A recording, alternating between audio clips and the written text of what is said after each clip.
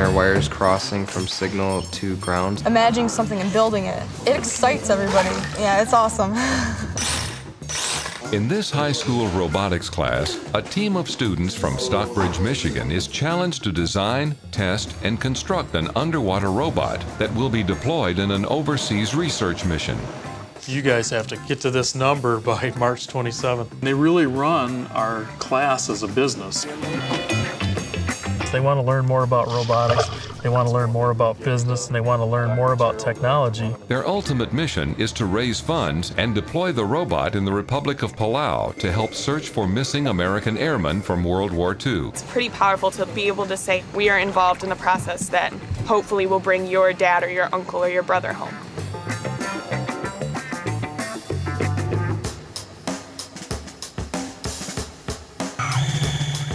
I'm trying to go up. Is it worth it to pull it up and take the weight off? Students pull up their ROV after discovering directional and buoyancy issues. We had a little quick briefing, kind of relaxed a little bit. Challenges and hopeful solutions are discussed before the second deployment.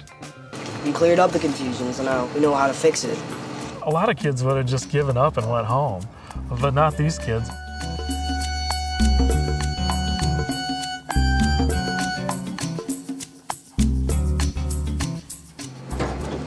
Okay, everybody just have a seat here on the bench real quick.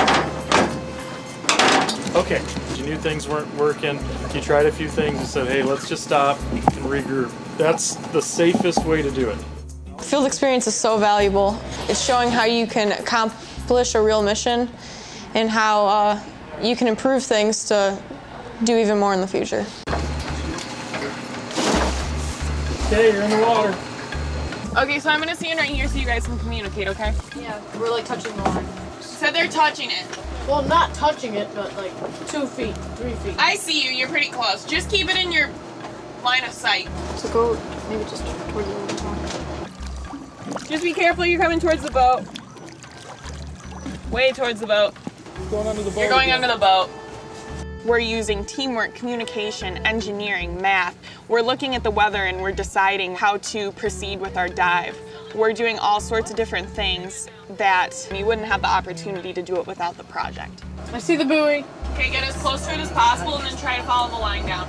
You are being pushed to think like an adult. You're not being treated like a child where you're given specific tasks over and over. You're given a problem and you're asked to solve it. So there you develop more skills. You guys going down? Yeah. Yeah, we have the tether in sight. Well, we were going forward to get to the to the line. So, yeah, it's at an angle, Chloe. So they use a lot of math, a lot of science, obviously technology, but it's much more than just robotics. I mean, how do you work with a person in a stressful environment? How do you get a team to come to a consensus and follow through with what the team decides is the best idea?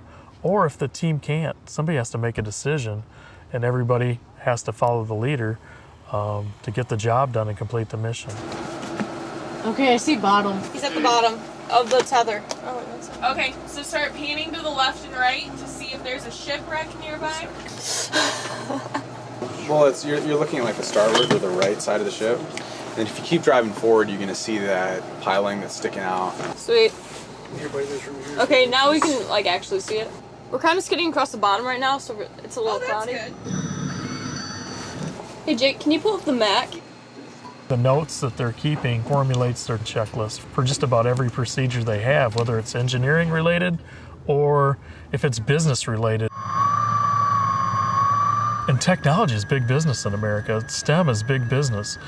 And they've got some really creative ideas now. They haven't lost that spark or that fire. I mean, they're going to hopefully go to work for a business when they get out of high school or college or when they're done with their education.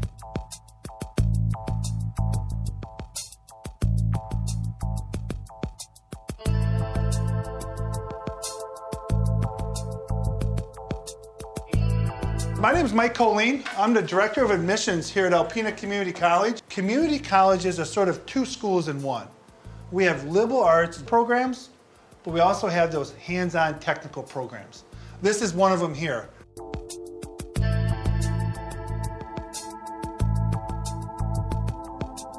Why are you looking to go to college? Go ahead. uh, to find a good career that I enjoy. Absolutely. A lot of students have taken what they've learned in the class onto college and, and into the workforce. Who's my experienced pilots in here?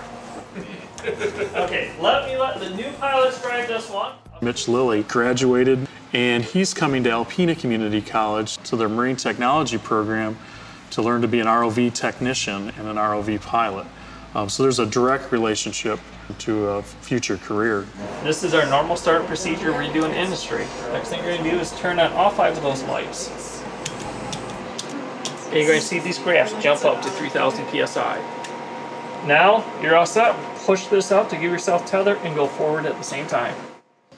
Before I started, I had no clue that there was this field that even existed. I wish we had these controls for the competition. This definitely opened my eyes to, I mean, a whole different field. Can you like lower the ROV? Yeah. It's nice having a game plan and knowing exactly what I want to do. The tech here is actually pretty busy. They're looking at the vital signs of the robot, hydraulic pressures, electrical voltages, sensors, ground faults, and then in the free time from that, they're looking at the sonar, the other screens, and logging. Next year, I plan to attend the University of Michigan, pursuing a career in biomedical engineering. All these red dots are active oil wells in the Gulf of Mexico. These stretches here have all been done with robots. We were finally able to get to this oil deeper here. I feel confident in my ability to be successful, so I have big goals in my life because I know that I'm able to do it now. No, did both of you get a chance to go to Palau? Yeah, I've been three. Oh my gosh. It is pretty scary to put yourself out there, but I think it's definitely more rewarding than doing something that you've expected to do your whole life.